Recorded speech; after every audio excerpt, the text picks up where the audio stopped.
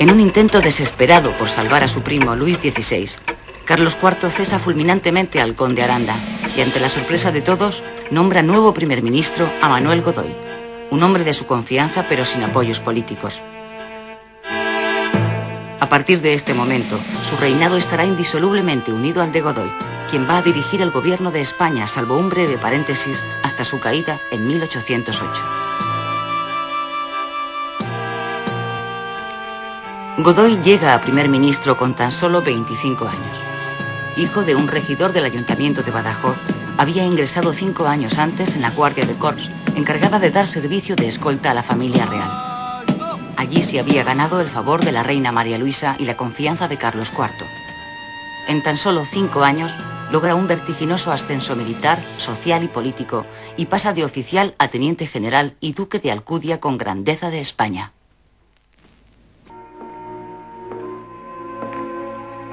El encargo que Godoy recibe de Carlos IV de salvar al rey de Francia resulta imposible de cumplir, porque a los pocos días Luis XVI es juzgado y acusado de conspiración y de traición al Estado.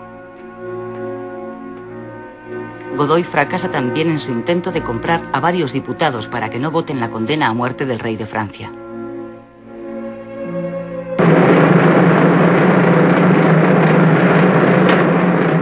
Todos los intentos por salvar su cabeza de la furia revolucionaria, en enero de 1793, Luis XVI es guillotinado.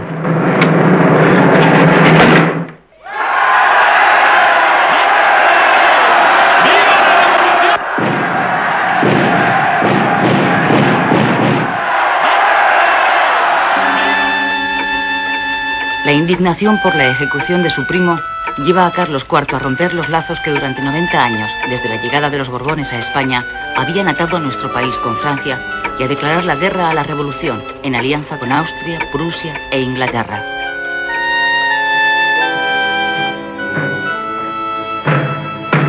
El impacto que causa la ejecución del rey de Francia explica la buena acogida que la declaración de guerra tiene entre los españoles, a pesar de que el país no está preparado ni económica ni militarmente para ella.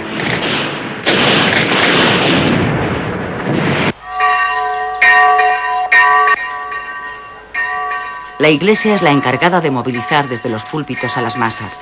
Frente al ateísmo de los revolucionarios, la guerra se plantea como una cruzada. La revolución no prevalecerá frente al altar de Dios. Hay aquel que no se levante contra el monstruo. Sobre él caerá el eterno castigo del infierno. Las victorias iniciales del general Ricardos en suelo francés pronto empiezan a convertirse en derrotas.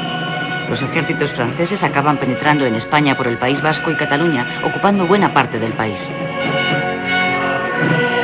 El entusiasmo de las tropas revolucionarias se impone sobre la improvisación y la falta de medios de las españolas.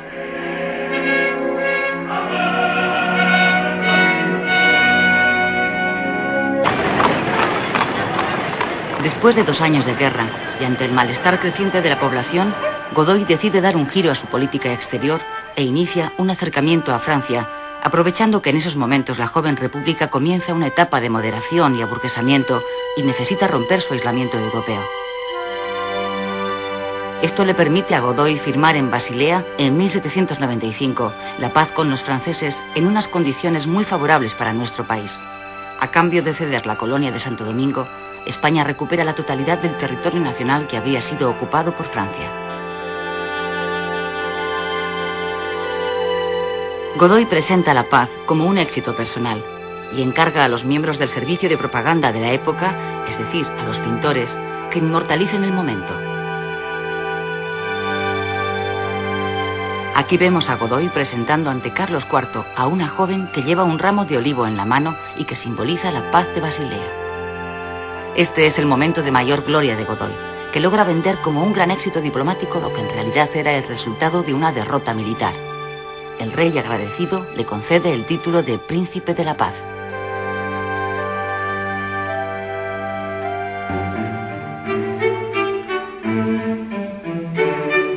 La neutralidad de España dura muy poco, apenas 12 meses. Al cabo de ese tiempo, Godoy recupera la amistad con Francia a través del Pacto de San Ildefonso, que establece la cooperación militar de los dos países para luchar contra Inglaterra, el enemigo común. A partir de este momento, el destino de la monarquía de Carlos IV queda unido a los intereses de la política exterior francesa.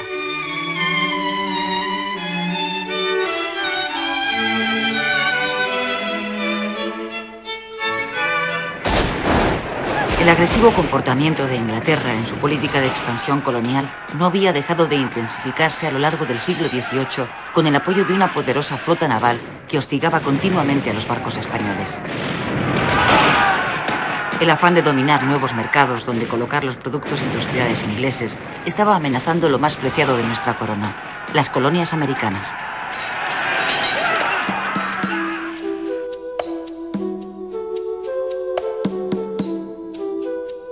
Las colonias proveían a España de plata y de materias primas baratas, cacao, azúcar y tabaco, y a su vez España colocaba en exclusiva sus productos en las colonias. Nadie más podía comerciar con ellas. La metrópoli tenía el monopolio. Las exportaciones a tierras americanas eran la fuente principal de la economía española.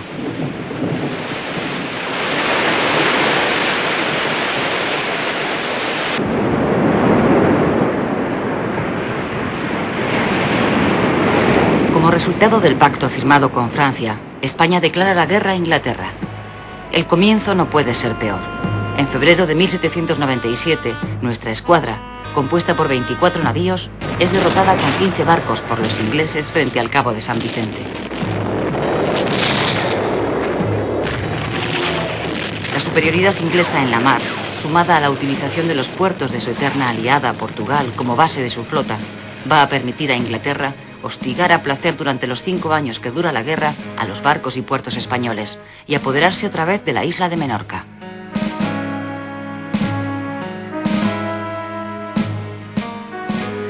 Esta guerra, la segunda del mandato de Godoy, es aún más desastrosa que la anterior. El dominio inglés del Atlántico dificulta gravemente el tráfico de los buques españoles. El comercio de España con las colonias se interrumpe. El cese de las exportaciones provoca la ruina y el paro en las ciudades portuarias y en las fábricas de tejidos, cerámica y de otros productos manufacturados que se vendían sobre todo en el exterior.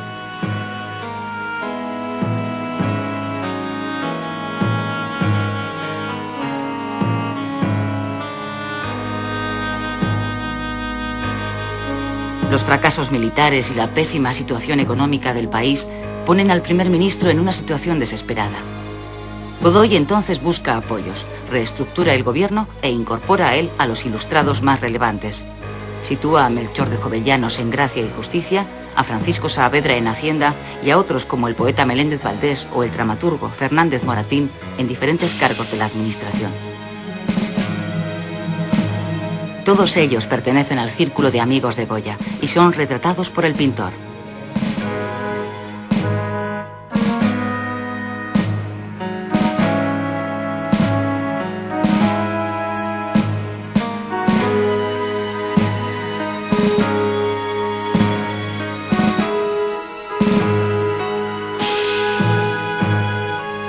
Las malas cosechas de esos años empeoran la situación.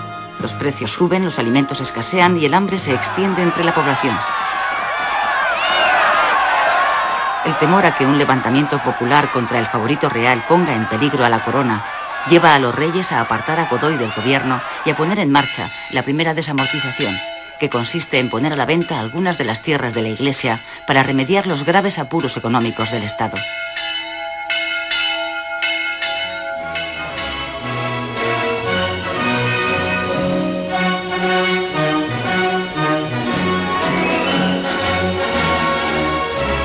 Casi a punto de entrar en el año 1800, la Revolución Francesa da un nuevo giro. Napoleón Bonaparte, un victorioso general con tan solo 30 años, sube al poder mediante un golpe de Estado y se convierte en el hombre fuerte de Francia. Napoleón también marcará el signo de nuestra política porque en su partida mortal con Inglaterra, España pasa a ser mero peón del general francés. En esos momentos, lo que está en juego es el control de Europa y Napoleón considera que o se está con él o se está contra él.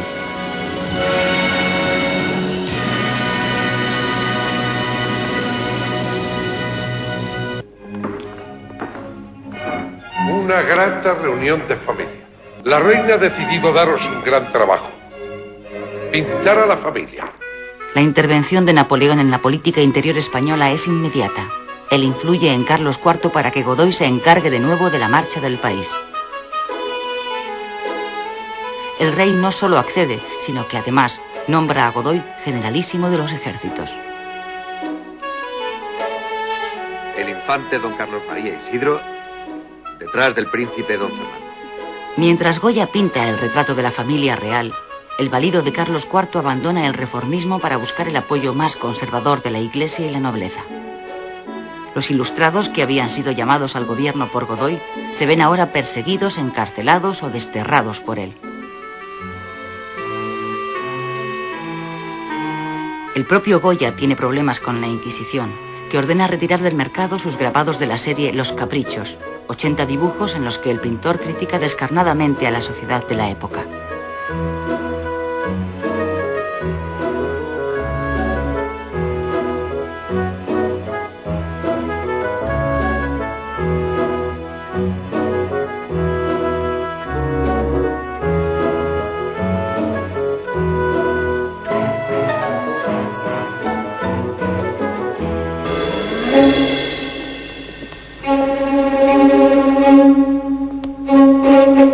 Una semana que vigilan la tienda. La primavera de las luces y de la razón toca su fin.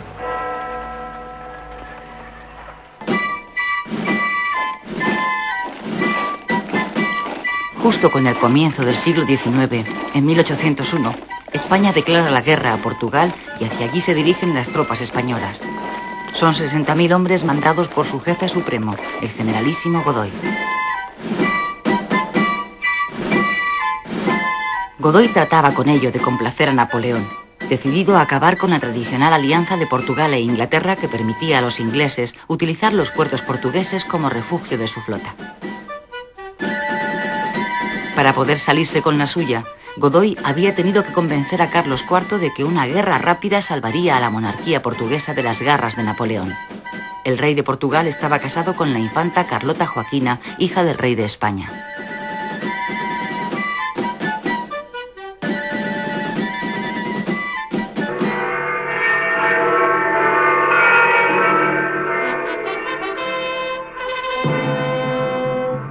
La guerra apenas dura dos semanas.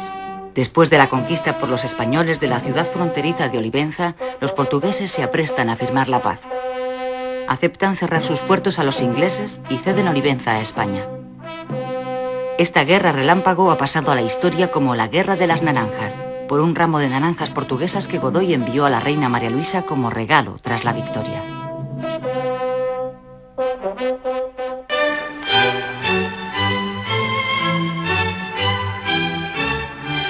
En marzo del año siguiente, en 1802, Francia e Inglaterra deciden darse una tregua y firman la paz de Amiens.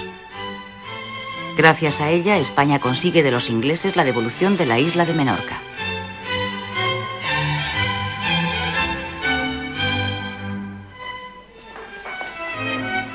Pero la paz, que resultaba tan necesaria para la recuperación económica de nuestro país, durará poco. Apenas transcurrido un año, franceses e ingleses vuelven a enzarzarse en otro conflicto. Godoy se esfuerza por mantener a España al margen, pero acaba sucumbiendo a la presión de Napoleón, que necesita a la flota española para llevar a cabo sus planes.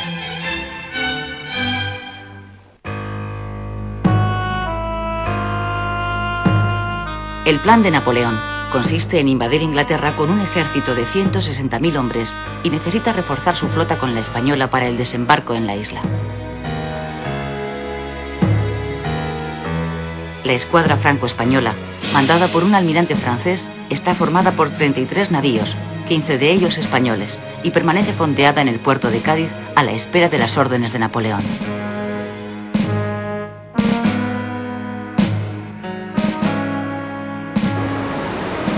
En la mar abierta espera la escuadra inglesa mandada por el almirante Nelson con 27 navíos.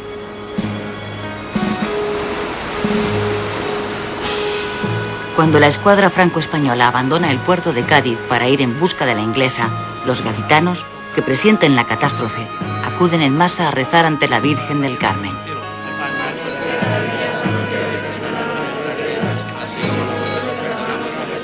Las dos escuadras navegan ya hacia el estrecho de Gibraltar.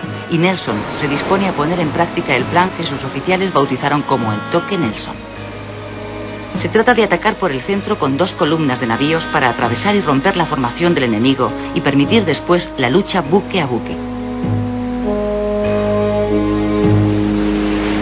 La escuadra franco-española se dirige al combate desunida y llena de recelo recíproco, hasta el punto de que el almirante francés ordena las naves para el combate alternando navíos españoles y franceses para que se vigilen unos a otros.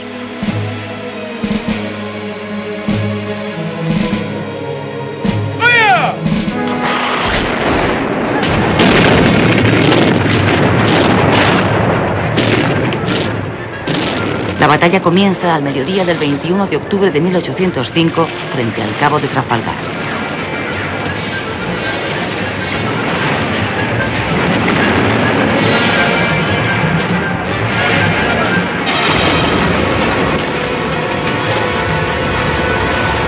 La batalla dura hasta el anochecer.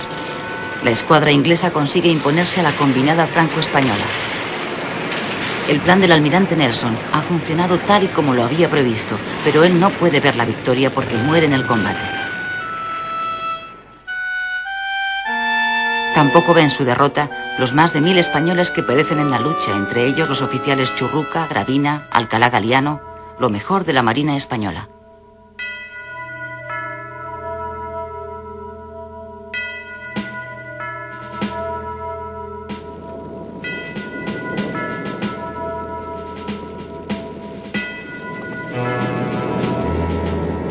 Con esta derrota, España pierde además de 10 barcos la esperanza de seguir comerciando con las colonias. El Atlántico pasa a ser dominio absoluto de los ingleses.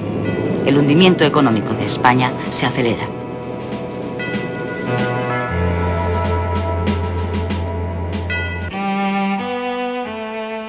Los fracasos militares y la crisis económica dejan a Godoy sin más apoyo que el de los reyes. El malestar de la nobleza y del clero llega hasta los aposentos del príncipe don Fernando, que se convierte en el centro de las intrigas contra el valido del rey. La conjura crece de tal modo que da origen a lo que ahora se conoce como un grupo de presión, el de los fernandinos, con el propósito de derribar a Godoy y arrastrar al rey Carlos IV en su caída.